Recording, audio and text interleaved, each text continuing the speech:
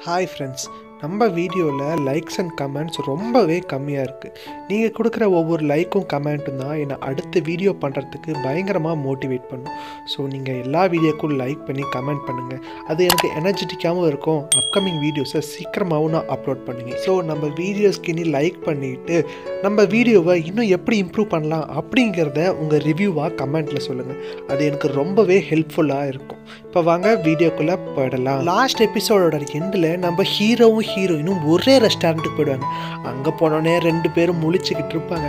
அதுக்கப்புறம் நம்ம ஹீரோவோட டீமும் நம்ம ஹீரோட டீமும் ஏன் சண்டை போட்டுக்கிறீங்க? வாங்க நம்ம எல்லாரும் ஒன்றா சாப்பிட்லாம் அப்படின்னு சொல்லுவாங்க. அதுக்கப்புறம் எல்லாருமே ஒன்றா உட்காந்து சாப்பிட்டுருப்பாங்க அப்போ நம்ம ஹீரோனோட டீம்மேட்ஸ் நம்ம ஹீரோவும் ஹீரோயினும் அக்கா தம்பின்னு சொல்கிறாங்க பட் ஆனால் ரெண்டு பேருமே நம்மளுக்கு தெரியாமல் இன்றைக்கி நைட் டின்னர் வரலான்னு பிளான் பண்ணியிருக்காங்களாம்ப்பா அப்படிங்கிற மாதிரி சொல்லி நம்ம ஹீரோ ஹீரோயினை கலாச்சிட்டு இருப்பாங்க. அப்போ நம்ம ஹீரோயின் ஒழுங்காக வாங்கடா சாப்பிட்லாம் அப்படின்ட்டு எல்லாருமே சாப்பிட ஆரம்பிச்சோம் அப்போ நம்ம ஹீரோவோட டீம்மேட்ஸ் இருந்துக்கிட்டு ஹீரோ யாரையோ லவ் பண்ணுறான்னு நினைக்கிறேன் அப்படிங்கிற மாதிரி சொல்லுவாங்க. அதுக்கப்புறம் நம்ம ஹீரோயின் அதுக்கப்புறம் எல்லாருமே யாருன்னு சொல்லு அப்படிங்கிற மாதிரி சொல்லுவாங்க. அப்போ நம்ம ஹீரோ நான் ஆக்சுவலாக ஹீரோயின் தான் லவ் பண்ணுறேன்னு நீங்கள் சொல்ல மாட்டீங்களாடா அப்படிங்கிற மாதிரி அவங்க டீம்மேட்ஸ் கேட்பாங்க. அவங்க டீம்மேட்ஸ் இருந்துக்கிட்டு ஹீரோயின் தான் உங்களுக்கு அக்கா மாதிரியே அப்புறம் எப்படி நீங்கள் அவங்கள லவ் பண்ணுவீங்க? அப்படிங்கிற மாதிரி சொல்லுவாங்க. இது கேட்டோன்னே நம்ம ஹீரோ எல்லாமே நல்லா பண்ணுறீங்கடா பட் ஆனால் இந்த விஷயத்தில் மட்டும் என்னை தம்பின்னு சொல்லி ஆஃப் பண்ணுறீங்களே என்னடா போங்க அப்படின்னு நினச்சிக்கிட்டு இருப்பார்.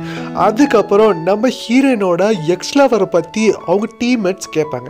நம்ம ஹீரோவும் சொல்லு சொல்லு உன்னோட எக்ஸ் லவர் பற்றி அப்படிங்கிற மாதிரி நம்ம ஹீரோயின்ட்ட கேட்பார். அப்போ நம்ம ஹீரோயின் சடனாக ஃபுட்டு எடுத்து நம்ம ஹீரோவோட வாயில் வச்சுட்டு உன்ன மாதிரியே தான் தோண என்னோட எக்ஸும் பேசிகிட்டு இருப்பான். அதனால தான் நான் பிரேக்கப் பண்ணிட்டேன் அப்படின்னு சொல்லுவாங்க. அதுக்கப்புறமேல எல்லாருமே அங்கேருந்து கிளம்பிடுவாங்க. நம்ம ஹீரோவும் ஹீரோயினா அவங்க டீம்மேட்ஸ்க்கு பாய் சொல்லிட்டு இவங்க வீட்டுக்கு போயிட்டுருப்பாங்க. வீட்டுக்கு போயிட்டு இருக்கும்போது நம்ம ஹீரோ நாளைக்கு நீ ஃப்ரீயாக நாளைக்கு நைட் நம்ம டின்னர் தனியாக போகலாம் அப்படின்னு சொல்லுவார். பட் ஆனால் நம்ம ஹீரோயின் எனக்கு ஒர்க் இருக்குது அப்படின்னு சொல்லிடுவாங்க. அப்புறம் நெக்ஸ்ட் டே மாறி நம்ம ஹீரோனோட டீம் வந்து அவங்க ஆஃபீஸில் ரொம்பவே சீரியஸாக உட்காந்துருப்பாங்க ஏன் அப்படின்னா அந்த ஷோக்காண்டி நிறைய கெஸ்ட்டெல்லாம் இன்வைட் பண்ணியிருப்பாங்களே அதில் ஒரு கெஸ்ட் வர முடியாது அப்படிங்கிற மாதிரி சொல்லியிருப்பார் அதுக்கப்புறம் நம்ம ஹீரோயின்ட்டே சொல்லுவாங்க நம்ம ஹீரோயின் அந்த கெஸ்ட்டுக்கும் கால் பண்ணுவாங்க. பட் ஆனால் அந்த கெஸ்ட் இருந்துக்கிட்டு ஆக்சுவலாக எனக்கு ஒர்க் இருக்குது அப்படிங்கிற மாதிரி சொல்லி ஃபோனை வச்சுருக்காரு அப்போ தான் நம்ம ஹீரோனோட இன்னொரு டீம்மேட் வேகமாக ஓடியாந்து சொல்லுவார் இன்னொரு ஷோக்கு வந்துட்டு அந்த கெஸ்ட்டுக்கு அதிகமாக பேமெண்ட் பண்ணுறாங்களா அதனால தான் அவர் அங்கே போயிட்டாரு அப்படின்னு சொல்லுவாங்க. அதுக்கப்புறம் நம்ம ஹீரோயின் அவங்க டீம் மட்டும் என்ன பண்ணுறதுன்னு முழிச்சிட்டு இருப்பாங்க. அதுக்கப்புறம் அவங்க டீம்மேட்ஸ் இருந்துட்டு நாம் ஆக்சுவலாக வேறு கெஸ்ட் யாராச்சும் இன்வைட் பண்ணலாமா? இன்னைக்கு ஃபுல்லாக நம்ம ஹார்ட் ஒர்க் பண்ணலாம் அப்படின்னு சொல்லுவாங்க. அதுக்கப்புறம் எல்லாருமே எந்த கெஸ்ட் இன்வைட் பண்ணலாம் அப்படிங்கிற மாதிரி பயங்கரமாக ஃபைல்லாம் சர்ச் பண்ணிட்டு இருக்காங்க கட் பண்ணால் நம்ம ஹீரோவை காட்டுறாங்க. அவரு நம்ம ஹீரோயினுக்கு மெசேஜ் பண்ணுவார். இன்னைக்கு நைட் நீ ஃப்ரீயா அப்படின்ட்டு. பட் ஆனால் நம்ம ஹீரோயின் கிட்ட எந்த ரிப்ளையும் வந்திருக்காரு அதனால நம்ம ஹீரோ ஃபோனையே பார்த்துட்டு உட்காந்துருப்பார் ஒரு கட்டத்து மேலே அவரால் பொறுமையை இழந்து இங்கே போக அங்கே போக புஷ்அப்ஸ் எடுக்க அப்படிங்கிற மாதிரி எல்லா சேட்டையும் பண்ணிட்டு இருப்பாரு. பட் ஆனால் நம்ம ஹீரோயின்கிட்ட இருந்து ரிப்ளை மட்டும் வந்திருக்கார் அதனால நம்ம ஹீரோ அவளுக்கு என்ன ஆச்சு நம்ம வேணா அவளோட வீட்டுக்கு போய் பார்க்கலாமா? அப்படிங்கிற மாதிரி வேகமாக நம்ம ஹீரோட வீட்டுக்கு நம்ம ஹீரோ ஓடுவாரு. ஆஃபீஸில் நம்ம ஹீரோயினும் நிறையா கெஸ்ட்டு கூட ஃபோனில் பேசிக்கிட்டு இருப்பாங்க. பட் ஆனால் நம்ம ஹீரோயினுக்கு யாருமே ஓகே சொல்ல மாட்டாங்க. அதுக்கப்புறம் ஸ்க்ரீனில் நம்ம ஹீரோவோட ஃபோட்டோவோ அந்த ஆல்பர்ட் பையனோட ஃபோட்டோவும் ஓடிட்டு இருக்கோம். அதை பார்த்தோன்னா நம்ம ஹீரோட டீம்மேட்ஸ் நம்ம ஏன் இந்த ஆல்பர்ட் பையனை கூப்பிடக்கூடாது? அவனும் சைக்காலஜியில் பெரிய லெக்சரர் தானே. ஸோ அவனுக்கும் நிறைய ஃபேன் பேஸ் இருக்கும். அது இல்லாமல் அவன் ஹேண்ட்ஸமாகவும் இருக்கான் அப்படிங்கிற மாதிரி சொல்லி சொல்லுவாங்க. அதுக்கப்புறம் நம்ம ஹீரோனும் இது சூப்பரான ஐடியாவாக தான் இருக்குது நான் அவங்ககிட்ட பேசுகிறேன் அப்படின்னு சொல்லிட்டு அந்த பையனை பார்க்க நம்ம ஹீரோயின் போயிடுவாங்க. நம்ம ஹீரோயின் ஒரு பீச் பக்கத்தில் நின்றுக்கிட்டு ஆக்சுவலாக அந்த பையன்கிட்ட என்ன பேசணும் அப்படிங்கிற மாதிரி ரிகர்சல் பண்ணிட்டு இருப்பாங்க. அப்போ அந்த ஆல்பர்ட் பையன் பின்னாடி வந்து நம்ம ஹீரோயின் என்னெல்லாம் பேசுகிறாங்க அப்படிங்கிற மாதிரி கேட்டுருவோம் அதுக்கப்புறமேல நம்ம ஹீரோயினுக்கு ஒரு ட்ரிங்க்கு போய் கொடுப்பான். அப்போ நம்ம ஹீரோயின் ஆக்சுவலாக ரியாலிட்டி ஷோக்கு நீயும் எனக்கு ஹெல்ப் பண்ணணும் நீ ஒரு கெஸ்ட்டாக வரணும் அப்படின்னு சொல்லுவாங்க. அப்போ அந்த ஆல்பர்ட் பையன் நீ பேசிட்டு இருந்தது எல்லாத்தையுமே நான் கேட்டுட்டேன். நான் உனக்கு ஹெல்ப் பண்ணுறேன் அப்படிங்கிற மாதிரி நம்ம ஹீரோயின்ட்ட சொல்லுவோம். இதை கேட்டால் நம்ம ஹீரோயின் சந்தோஷத்தில் அந்த ஆல்பர்ட் பையனை ஹக் பண்ணிப்பாங்க. அப்போ அந்த ஆல்பர்ட் பையனுக்கு ஒரு மாதிரி ஆகிடும் அதுக்கப்புறமேல அந்த ஆல்பர்ட் பையன் உனக்கு ஹெல்ப் பண்ணாமல் நான் யாருக்கு ஹெல்ப் பண்ண போகிறேன் அப்படின்னு சொல்லுவோம் அதுக்கப்புறம் நம்ம ஹீரோயின் ரூல்ஸ் அண்ட் ரெகுலேஷன்ஸ் என்னென்னு சொல்கிறேன் அப்படின்ட்டு அந்த ஆல்பர்ட் பையன்ட்ட சொல்லிக்கிட்டு இருப்பாங்க. கட் பண்ணால் இங்கே நம்ம ஹீரோ நம்ம ஹீரோட வீட்டுக்கு முன்னாடி நின்று இருப்பாரு.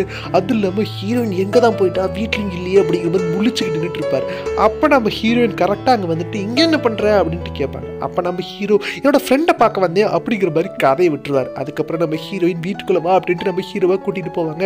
ஆனால் நம்ம ஹீரோ இதுதான் ஃபர்ஸ்ட் டைம் நம்ம ஹீரோயின் வீட்டுக்கு வந்த மாதிரி முழிச்சுக்கிட்டு இருப்பார்.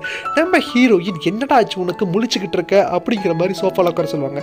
அதுக்கப்புறம் நம்ம ஹீரோயின் வந்து சோஃபாவில் உட்காருவாங்க. நம்ம ஹீரோ தள்ளி உட்காந்துப்பார். அப்புறம் அந்த ரியாலிட்டி ஷோவில் என்னென்ன கொஷின்ஸ்லாம் கேட்பாங்க அப்படின்ட்டு இந்த பென்ட்ரைவில் இருக்குது அப்படின்ட்டு நம்ம ஹீரோயின் ஒரு பென்ட்ரைவை நம்ம ஹீரோட்ட கொடுப்பாங்க.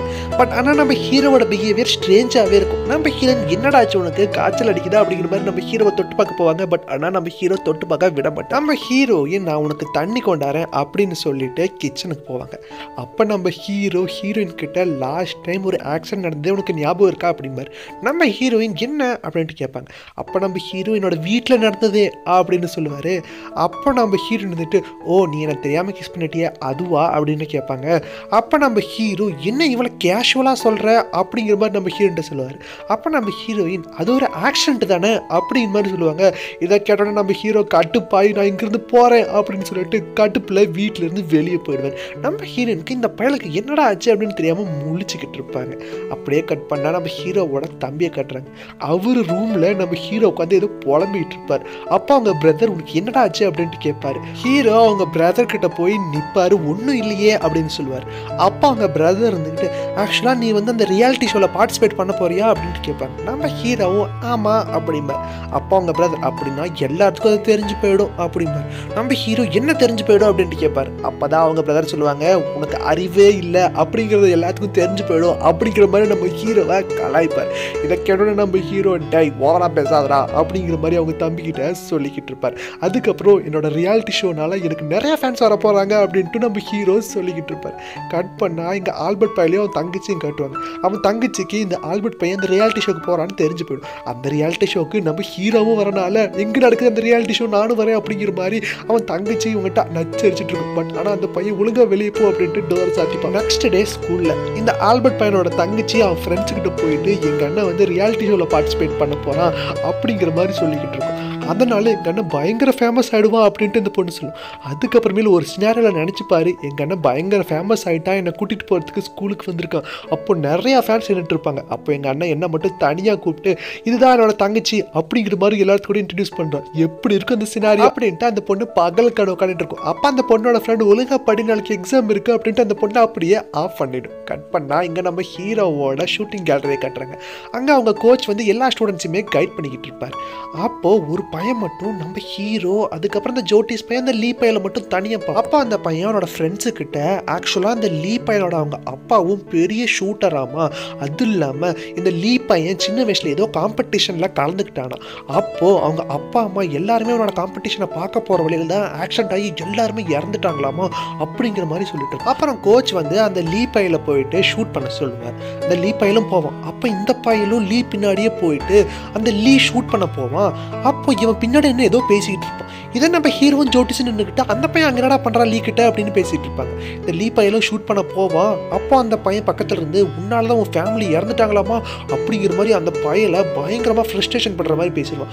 அதனால அவனோட கான்சென்ட்ரேஷன் எல்லாமே மிஸ் ஆகி தப்பாக ஷூட் பண்ணிடுவான்.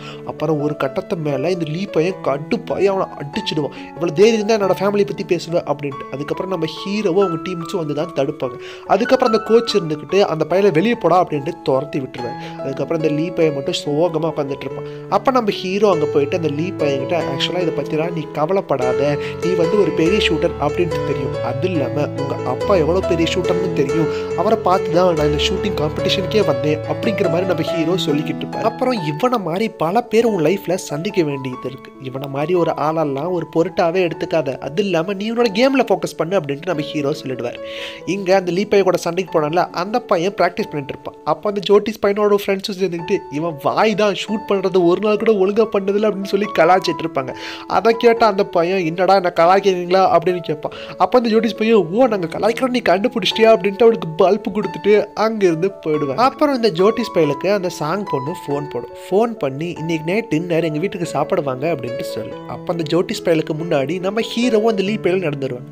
அப்போ இந்த ஜோட்டிஸ் பையன் நான் ஹீரோவையும் இன்னொரு ஃப்ரெண்டையும் கூட்டிகிட்டு வரேன் அப்படின்னு சொல்லுவோம் அதுக்கப்புறம் அந்த பொண்ணும் ஓகே அப்படின்ட்டு அதுக்கப்புறம் இந்த சாங் பொண்ணு பொண்ணு வந்துட்டு சமையல் புக்கை எடுத்து பார்த்துக்கிட்டு நான் இன்றைக்கி தான் சமைக்க போகிறேன் அப்படின்னு சொல்லும் அப்போ நம்ம ஹீரோயின் ஏண்டி தேவையில்லாமல் வேலையெல்லாம் பார்க்குறேன் நம்ம ஹோட்டலில் ஆர்டர் பண்ணிக்கலாம் அப்படின்னு சொல்லி. அந்த சாங் பொண்ணு நான் இப்போவே சமைச்சு பழகுறேன். அப்போ தான் என்னோடய ஃபியூச்சர் பாய் ஃப்ரெண்டுக்கு நான் வெரைட்டியான டிஷ்ஷை செஞ்சு கொடுக்க முடியும் அப்படின்னு அப்போ நம்ம ஹீரோயின் உன்னோட ஃபியூச்சர் பாய் ஃப்ரெண்ட் பாவம் பா அப்படின்னு சொல்லிக்கிட்டு இருப்பாங்க.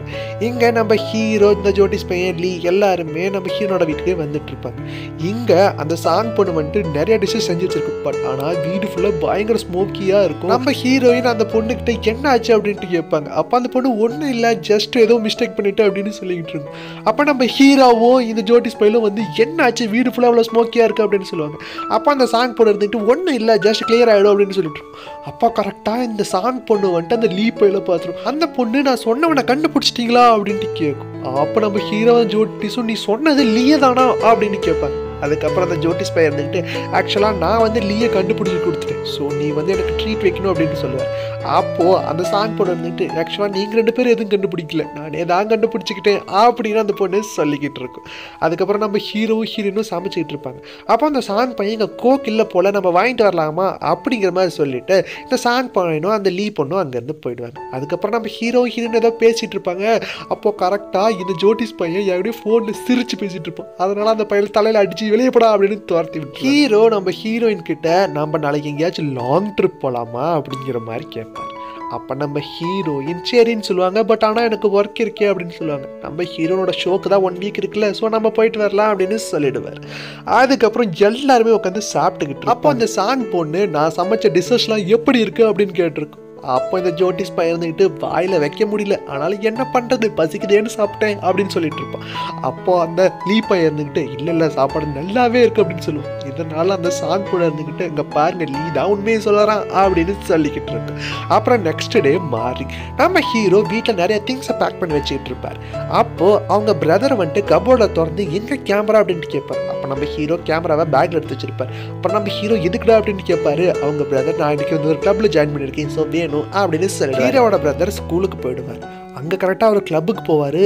அப்போது அந்த ஆல்பர்ட் பையனோட தங்கச்சியும் அவன் ஃப்ரெண்டு வந்துடும் நீங்களும் இதே கிளப்பில் தான் ஜாயின் பண்ணிருக்கீங்களா அப்படின்னு கேட்பாங்க. அப்போ அந்த பொண்ணு ஆமான்னு சொல்லும். அதுக்கப்புறம் சரி வாங்க நம்ம எல்லாம் ஒரே கிளப்பு தான் அப்படின்னு சொல்லிட்டு அந்த பொண்ணு அங்கேருந்து போயிடும். இங்கே நம்ம ஹீரோவும் ஹீரோயினும் காரில் போயிட்டு இருப்பாங்க. அப்போ நம்ம ஹீரோயினுக்கு அந்த ஆல்பர்ட் பையனோட தங்கச்சி உங்கள் கேமராவை நான் இன்றைக்கி எடுத்துக்கிட்டேன் அப்படிங்கிற மாதிரி சொல்லிக்கிட்டு இருக்கோம்.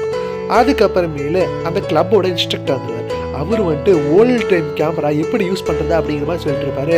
அப்போது இந்த ஆல்பர்ட் பையனோட தங்கச்சி இருந்துட்டு இந்த பையனை பார்த்தாலும் நம்ம ஹீரோ மாதிரி தான் இருக்குது இவன் ஆக்சுவலாக ஹீரோவோட தம்பியாக இருப்பானோ அப்படின்னு பேசிகிட்டு இருக்கோம். இதை கேட்டால் நம்ம நிஜமால ஹீரோவோட தம்பி கடுப்பில் உட்காந்துட்டு இருப்பார். அதுக்கப்புறம் அந்த கிளப் இன்ஸ்ட்ரக்டர் நம்ம ஆல்பர்ட் பையனோட தங்கச்சியை முன்னாடி கூப்பிடுவார். அந்த பொண்ணும் முன்னாடி போயிடும். அதுக்கப்புறமேல இந்த ஓல்டு கேமராவில் யார் ஃபோட்டோ எடுக்கிறதுக்கு கூப்பிடலாம் அப்படின்ட்டு நம்ம ஹீரோவோட பிரதரையும் கூப்பிட்றாங்க அதுக்கப்புறம் நம்ம ஹீரோட பிரதர்கிட்ட அந்த ஓல்டு கேமராவை கொடுத்து நம்ம ஆல்பர்ட் பையனோட தங்கச்சியை ஃபோட்டோ எடுக்க சொல்லுவாங்க. நம்ம ஹீரோட பிரதரும் ஃபோட்டோ எடுப்பேன் கட் பண்ணால் நம்ம ஹீரோவும் ஹீரோயினும் கட்டுறாங்க. அவங்க ரெண்டு பேரும் பீச்சுக்கு போயிட்டு பயங்கரமாக என்ஜாய் பண்ணிட்டு இருப்பாங்க. நம்ம ஹீரோயின் அவங்க இன்ஸ்டாகிராமில் லைவ் போட்டிருப்பாங்க. அதை வந்து இந்த ஆல்பர்ட் பையன் பார்த்துருவோம் அதுலேயும் அதில் நம்ம ஹீரோ இருக்கிறதையும் பார்த்துடுவோம் பார்த்துட்டு கடுப்பில் உட்காந்துக்கிட்டு இருப்பான். அப்போ கரெக்டாக அவன் தங்கச்சி ஓடியான்ட்டு என்னோட ஃபோன் ஸ்விட்ச் ஆஃப் ஆகிடுச்சு நான் ஹீரோன் கிட்ட பேசணும் உங்கள் ஃபோனை கொடுங்கன்னு கேட்பாங்க. அப்போ இந்த பையன் இந்தா இப்போவே பேசு அப்படின்னு ஃபோனை கொடுத்துருவான் இங்கே நம்ம ஹீரோயின் வந்துட்டு அவங்க எடுத்த ஃபோட்டோ ஃபோட்டோஸ் எல்லாமே நம்ம ஹீரோ கிட்ட காமிச்சிட்டு இருப்பாங்க அப்போ கரெக்டாக அந்த ஆல்பர்ட் பையனோட ஃபோட்டோ வந்துடும் அது வந்துடும் நம்ம ஹீரோ அப்படியே ஃபோனை ஸ்விட்ச் ஆஃப் பண்ணிடுவோம் அதுக்கப்புறம் நம்ம ஹீரோ இவனோட ஃபோட்டோ எப்படி உங்கள் பேரில் அப்படின்னு கேட்பாங்க நம்ம ஹீரோயின் நான் பெரிய ஃபோட்டோகிராஃபர் ஸோ அந்த பையனை நான் தான் ஃபோட்டோ எடுத்தேன் அப்படின்னு சொல்லுவார் அதுக்கப்புறம் நம்ம ஹீரோயின் சரி நான் போய் அங்கே விளையாண்டுட்டு இருக்கேன் அப்படின்னு சொல்லிட்டு போயிடுவாங்க அப்போ கரெக்டாக நம்ம ஹீரோனோட மொபைலும் ரிங் ஆகும். யார் கூப்பிட்றாங்கன்னு பார்த்தா அந்த ஆல்பர்ட் பையன் தான் கூப்பிட்றோம் நம்ம ஹீரோ ஹீரோன்ட்டு சொல்லுவார் ஹீரோயின் வந்து ஹீரோவையே பேச சொல்லிடுவாங்க நம்ம ஹீரோவும் அட்டன் பண்ணுவார். பட் ஆனால் அங்கே ஒரு பொண்ணு பேசுவோம் அடானா நம்ம ஆல்பர்ட் பையலோட தங்கச்சி. அந்த பொண்ணு ஹீரோயின் எங்கேன்னு கேட்கும் அதுக்கப்புறம் நம்ம ஹீரோவை கேவலம் கேவலமாக திட்டிக்கிட்டு இருக்கோம். அப்புறம் இதை வந்து அந்த ஆல்பர்ட் பையன் யார் அப்படின்னு கேட்பான். அப்போ யாரோ தெரில ஒருத்தன் நம்ம ஹீரோட மொபைலில் பேசுகிறா அப்படின்னு சொல்லுவோம் நம்ம ஹீரோவை அந்த பொண்ணு கேவலம் கேவலமாக திட்டு இருக்கும். அப்போ நம்ம ஹீரோயின் கரெக்டாக அங்கே வருவாங்க. நம்ம ஹீரோட ஃபேஸ் ரொம்பவே சோகமாக இருக்கும். என்னாச்சு அப்படின்னு கேட்பாங்க.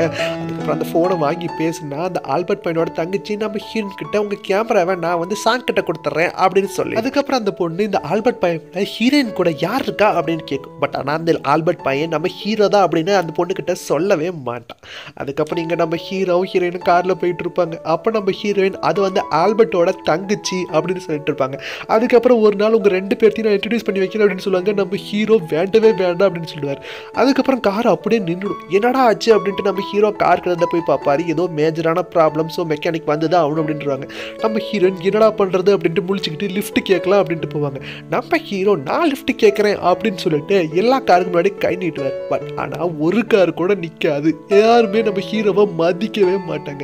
நம்ம ஹீரோயினும் என்னடா இப்படி ஆயிடுச்சு அப்படின்னு சிரிச்சிட்டு இருப்பாங்க கடைசியாக ஒரு கார் நிற்கும் நம்ம ஹீரோவும் ஹீரோயினும் அந்த காரில் ஏறிடுவாங்க.